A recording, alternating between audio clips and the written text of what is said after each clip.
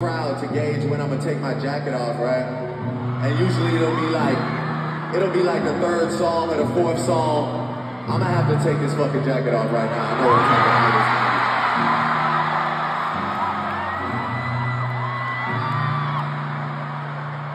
know. Oh, Montreal. I've loved you for a very, very, very, very, very long time.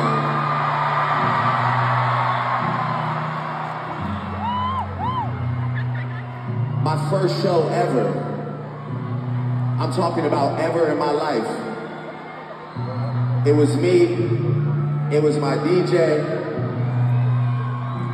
My brother, Future the Prince, he's somewhere in here. He's right there.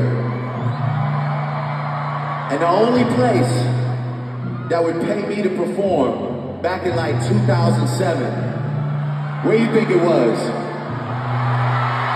Where you think it Montreal, Canada.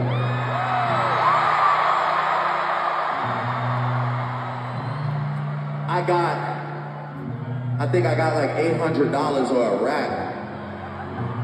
It was my security. His name is Eddie, by the way. I don't know if you know him. He's from, he's from Montreal, right?